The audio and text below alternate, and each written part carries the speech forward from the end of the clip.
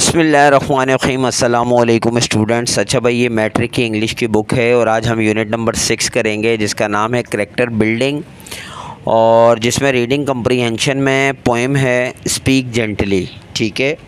तो speak gently का जो है, आज हम एक्सरसाइज वर्क करेंगे, दोनों, यानी लिटरेचर वर्क और फिर ग्रामर वर्क। तो पहले लिटरेचर वर्क है सिक्स पॉइंट वन में।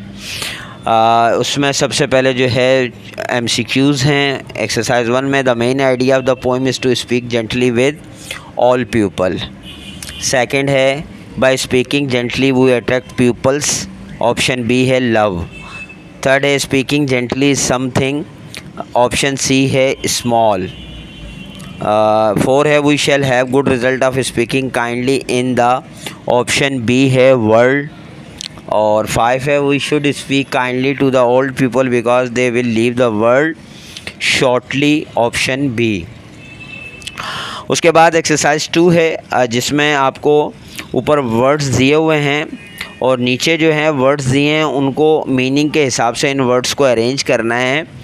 तो फ़र्स्ट वर्ड है जेंटली तो इसके लिए सॉफ्टली एंड काइंडली मीनिंग बिल्कुल सही है। सेकंड है हार्श इसके लिए रूड एंड रफ़। थर्ड है मार, इसके लिए स्पॉइल, ठीक है। फोर है एसेंट्स तो इसके लिए है टून ऑफ़ वॉइस। फाइव है एजिड तो इसके लिए ओल्ड आएगा। सिक्स के, है ग्रीव, इसके लिए कॉज अनहैप्पीनेस आएगा। और केयर वॉन के लिए है टायर्ड, और जबकि इटर्निटी के लिए है अनएंडिंग टाइम। या फिर फॉर एवर दोनों ऑप्शन दिए हुए हैं भाई ऊपर। ओके उसके बाद एक्सरसाइज थ्री है read the text and match sentences in column A with column B write the answer in column C compare your answer with your partner A B दो कॉलम हैं, इनको मैच करके answer C में लिखना है। तो देखें ए का तो one two three four five six दिया है। बी का इन्होंने ए बी सी या कोई नंबर नहीं दिए थे। तो आप ख़ुद देख लें कि इसमें बी में भी सिक्स हैं। तो मैंने इनको सिक्स नंबर देकर सी में डायरेक्ट मैंने सिर्फ़ बी के नंबर लिखे हैं, ये याद रखिएगा।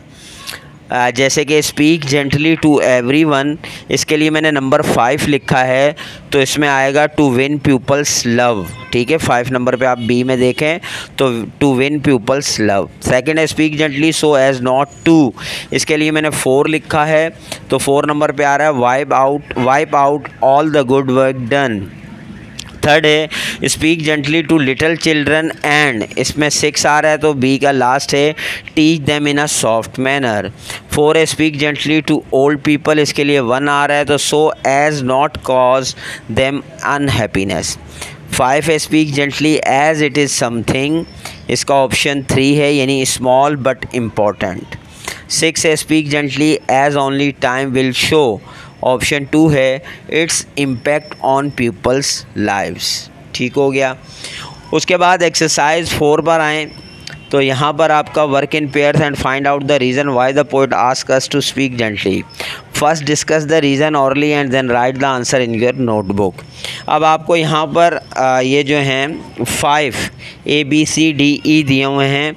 आपने जैसे we should speak gently to everyone because ठीक है? ये आप अपने पास से भी पोइम पढ़ के कर सकते हैं। आ, मतलब बिकॉज़ यानी हम आ, लोगों से बहुत अच्छे से बात करें हर एक से क्यों? ठीक है। तो इसका मतलब ये तो छः ये जो पाँच के पाँच हैं, इनके मैंने बहुत अच्छे आंसर्स लिखे हैं। आप इनको देख लें और अगर मैंने आपसे कहा, आप ख़ुद भी इनको कर सकते हैं पोइम को रीड करने के बाद।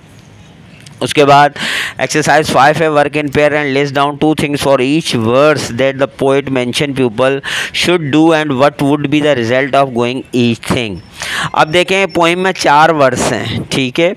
तो इन्होंने कहा, चारों वर्ष में जो है, आपने हर वर्ष में दो चीज़ें लिखनी हैं जो उसने मेंशन की हैं, ठीक है? और हर एक का रिज़ल्ट भी बताना है डूइंग ईच थिंग अब यहाँ पे इन्होंने देखें बुक में जो कॉलम दिए हैं ए बी ए बी इसमें रिज़ल्ट नहीं दिया जगह नहीं दी. कॉलम छोटा है मतलब ए को ए में आपने कोई चीज़ बतानी है फिर उसका रिज़ल्ट भी बताना है. तो मैंने इसको अलग से इसीलिए यहाँ बुक पे करके नहीं दिखाया मैंने यहाँ पे आपको अलग से करके दे दिया है. आ, देखें जो भी वर्ष वन में ए और बी दो मैंने जो आ, मतलब पॉइंट लिए हैं वर्ष वन से ठीक है तो उसका आगे मैंने ए बी का रिज़ल्ट भी दिया इसी तरह वर्स टू का ए बी का रिज़ल्ट फिर वर्स थ्री का ए बी का अलग अलग रिज़ल्ट और वर्स फोर का भी ए बी का अलग अलग रिज़ल्ट देना था तो मैंने दे दिया है।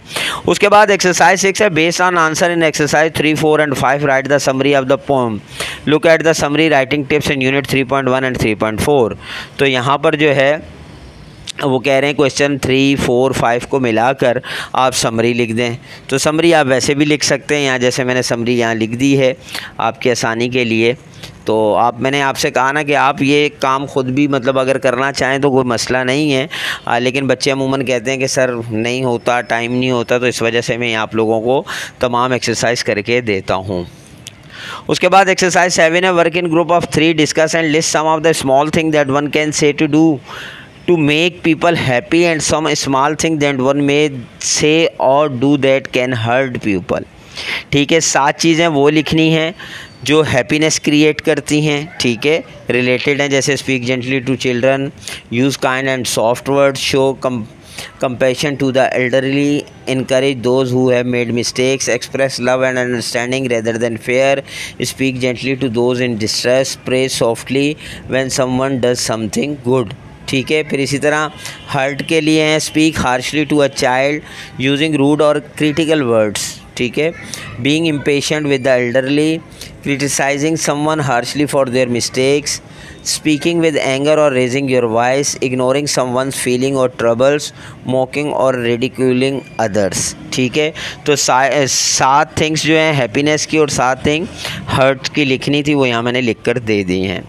उसके बाद एक्सरसाइज एट है select any three things from each of the section happiness and hurting अब आपने क्या करना है? हैप्पीनेस और हर्टिंग दो चीज़ें हैं। तो इन दोनों की आपने तीन तीन चीज़ें लिखनी हैं, ठीक है? And discuss what you can you do to provide happiness and to avoid things that hurt people तो आपने हैप्पीनेस लोगों के लिए आप can you do you can you do तो ये बताना है कि आप क्या कर सकते हैं लोगों को खुश करने के लिए भी और हर्ट करने के लिए भी, ठीक है? तो वट यू कैन डू जैसे हैप्पीनेस में फ़र्स्ट हमने लिखा कम्प्लीमेंटिंग अदर्स ठीक है? किसी को कॉम्प्लीमेंट करना। तो what you can do make a habit of giving sincere compliments to people around you acknowledge their इस तरह करके। फिर इसी में सेकेंड हमने पॉइंट लिखा ऑफरिंग हेल्प किसी को हेल्प की देखें, ज़रूरत है, उसको हेल्प की ऑफ़र कर दें। वट यू कैन डू तो इसमें हमने बताया। फिर थर्ड था लिसनिंग एक्टिवली ठीक है, कोई आपको कोई बात सुना रहा हो तो ध्यान से उसकी बात सुनना। ये भी बहुत अच्छी बात है हैप्पीनेस से भी। तो इसके लिए हम क्या कर सकते हैं व्हाट यू कैन डू तो वो इसमें मैंने इसी तरह बता दिया।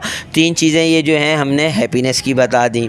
अब इसी तरह तीन चीज़ें जो है, अगर कोई हर्ट होता है तो वो कैसे होता है, वो तीन चीज़ें भी हमने इसमें आप लोगों की आसानी के लिए मैंने इसी तरह बता दी हैं।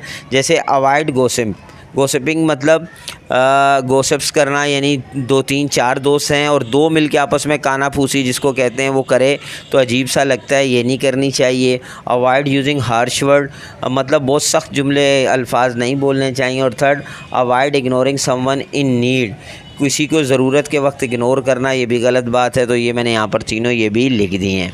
लेकिन अभी सवाल कंप्लीट नहीं हुआ। उसने आखिर में कहा each one of you will have to speak in front of the class stating one thing that you will do to give happiness and one thing that you will do to avoid hurting people अब वो कह रहा है, अब इनमें से या तो इन्हीं में से एक एक बोल दो।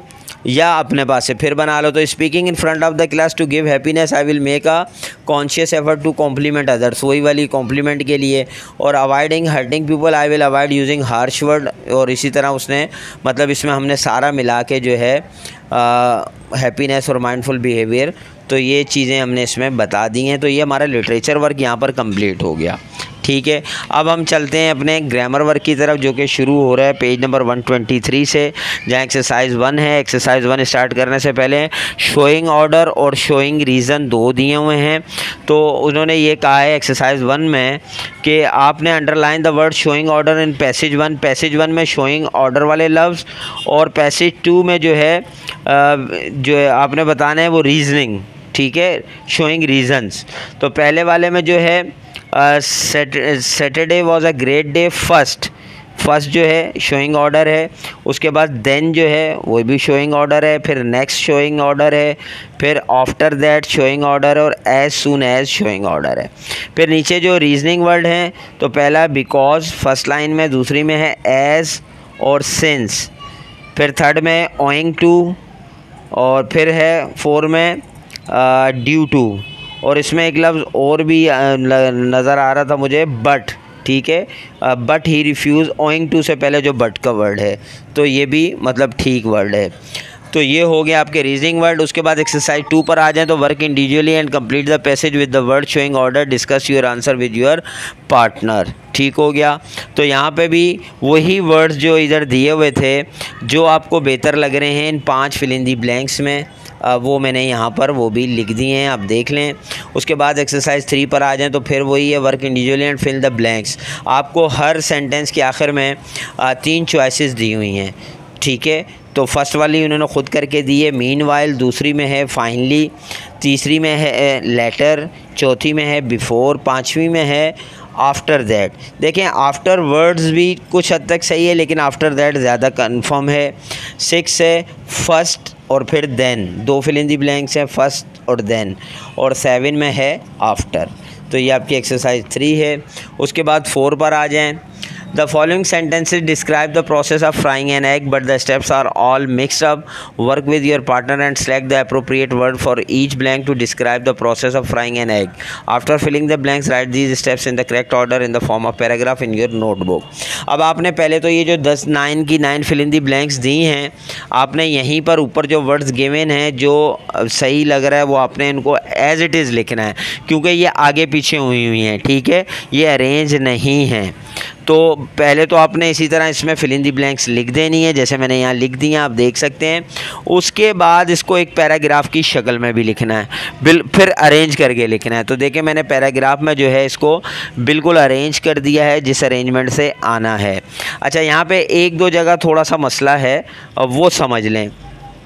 एक मसला ये है कि अब कुछ लोग क्या करते हैं कि पहले वो फ्राई पैन स्टोव पर रखते हैं और फिर ऑयल डालते हैं, ठीक है? Put some oil in it अच्छा कुछ लोग क्या करते हैं? पहले फ्राई पैन लेते हैं, उसमें ऑयल डालते हैं, फिर उसको स्टोव पे रखते हैं। तो ये फ़र्क भी हो सकता है। अच्छा कुछ लोग क्या करते हैं? इसमें एक और मसला भी है। कुछ लोग क्या करते हैं कि जब अंडा तैयार हो जाता है तो उसको फ्राई पैन के अंदर ही उसमें नमक और गर्म मसाला डालकर, फिर जो गर्म मसाला कह रहा हूँ सॉरी काली मिर्च डालकर, फिर उसको प्लेट में रखते हैं। और कुछ लोग पहले अंडे को निकाल के प्लेट पर रखते हैं और फिर नमक और काली मिर्च को स्पार्कल ऊपर छिड़कते हैं, स्प्रिंकल करते हैं। तो ये दोनों में थोड़ा सा फ़र्क है अपने अपने जहन से, लेकिन दोनों तरह करेंगे तो आप बिल्कुल ठीक है। उसके बाद आ जाएँ तो डायरेक्ट इनडायरेक्ट की यहाँ से एक्सरसाइज फाइव चल पड़ी है। एट सेंटेंसेस थे। Work in pair only discuss and change the following from direct to indirect speech after discussing write the correct answer in your notebook तो आठ के आठ मैंने जो है यहाँ पर आपको सॉल्व कर दिए हैं। जैसे फ़र्स्ट है Ali's friends said can you spare me your book for a week तो उसमें Ali's friend ask if he could spare him his book for a week ठीक है? इस तरह करके मैंने आठों सेंटेंस कर दिए हैं। फिर एक्सरसाइज सिक्स पर आएँगे work in pair only discuss and change the following from direct to indirect speech यहाँ पर ज़्यादातर क्वेश्चन वाले हैं, लेकिन वो भी डायरेक्ट से इनडायरेक्ट चेंज करने हैं। ये भी आठ हैं। ये भी आपके सामने मैंने यहाँ चेंज करके दे दिए हैं। आप इनको भी चेक कर सकते हैं। उसके बाद एक्सरसाइज सेवन है when Faiz returned from the interview, his friends wanted to know the details. He reported what the interviewer had asked him. Work individually and write what Faiz said to his friends. The first one has been done as an example what is your name the interviewer ask me what my name was अब देखें, यहाँ दो चीज़ें हैं। Second में उसने लिख दिया शी आस्क मी यानी वो जो इंटरव्यू लेने वाली थी, वो लेडीज़ थी। चाहे आप उसको इंटरव्यूअर का नाम दें या उसको शी शी लिखें। तो मैंने तमाम दस के दस जुमलों में उसे इंटरव्यूअर का नाम दिया है। ठीक है शी कहीं नहीं लिखा। इंटरव्यूअर का नाम देकर मैंने मैसेजेस किए हैं। आप चाहें तो शी देकर भी इसको जुमलों को कंप्लीट कर सकते हैं। ठीक हो गया। उसके बाद आ जाए एक्सरसाइज एट में। यहाँ पे भी वही डायरेक्ट इनडायरेक्ट है। Work individually and rewrite the passage in the form of a reported speech ठीक हो गया। ये तीन पैराग्राफ हैं और तीनों पैराग्राफ्स की हमने स्पीच जो है वो चेंज कर देनी है। रिपोर्टेड स्पीच कर देनी है। तो वो भी यहाँ पर देख सकते हैं आप। मैंने आपकी आसानी के लिए ये तीनों पैराग्राफ जो हैं इनको चेंज करके दे दिया है। डायरेक्ट इनडायरेक्ट में और या अमूमन जो सेंटेंस बनाए जाते हैं, उनमें एक से ज़्यादा तरीका होता है। अगर आपको इससे बेहतर कोई तरीका, यानी कोई आपका टीचर आपको बताता है कि ये सेंटेंस इस तरह नहीं, इस तरह है तो उसमें देखें, कोई और ख़ामी नहीं होगी, सिर्फ़ सेंटेंस की सेटिंग या कहीं वेदर और इफ़ का फ़र्क होगा, बकाया कोई फ़र्क नहीं होता। ठीक है तो वो चेक कर लीजिएगा और देख लीजिएगा। अगर इसमें कोई चीज़ आप लोगों को समझ में नहीं आई तो मुझे कमेंट्स में ज़रूर रबता कीजिएगा।